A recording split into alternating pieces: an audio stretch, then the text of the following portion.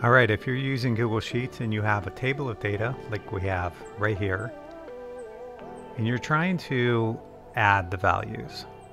Typically you'll start with the sum formula, but we're going to go over some situations where the sum formula probably isn't the best choice. So in this example, we have several subtotals here, and then we come down and we add the entire column. And this is going to be an easy illustration of when another function called subtotal is going to do a better job for you. So all of the bolded amounts are sum functions in this example. And so this sum function is totaling the first quarter sales in 2017, second quarter sales, etc. And then you come down to the bottom and you want to add up the entire column. But at this point, the problem is that the sum totals are inside of it. So if you just do a regular sum function, it will catch all the subtotals and it will double the amount.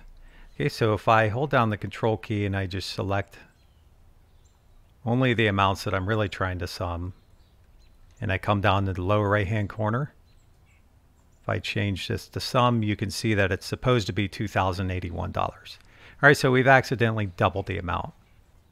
So what you could do is you could come into the sum formula and you could just pick the ranges where you know there are no subtotals. So I would select that range, use a comma.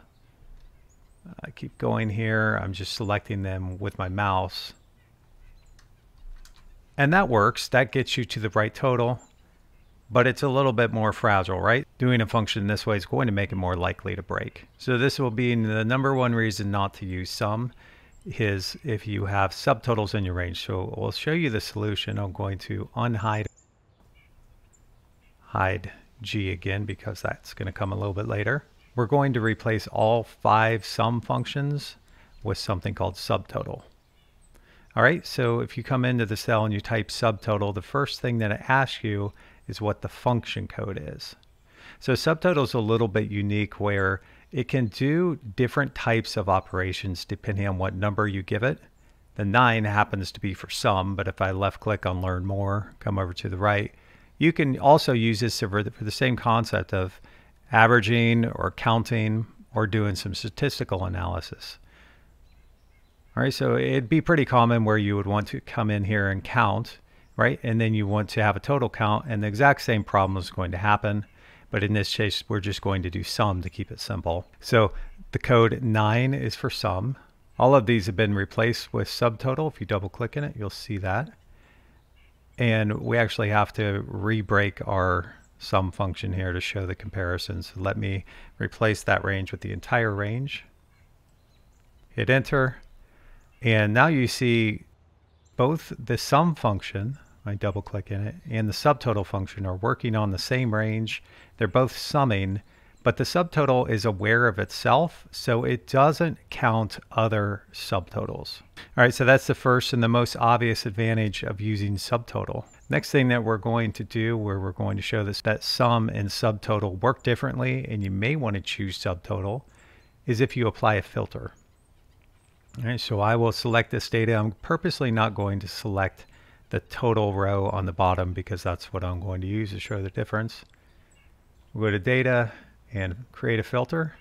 And let's just say we only want to look at the sales of the furniture. All right, so we will uncheck the blanks, the technology and the warehouse supplies. We'll left click on OK. And this filtered the list so we're only seeing furniture.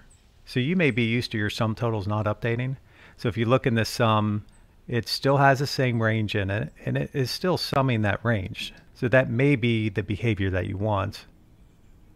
But the subtotal function is aware of what's hidden, so it is only summing what's visible. So if I take my control key, I select these four cells, you can see the sum of those four cells is 253.03. And the last of the three reasons why the sum function might not work for you is let's manually hide a row so we'll right click on row 16, left click on hide row.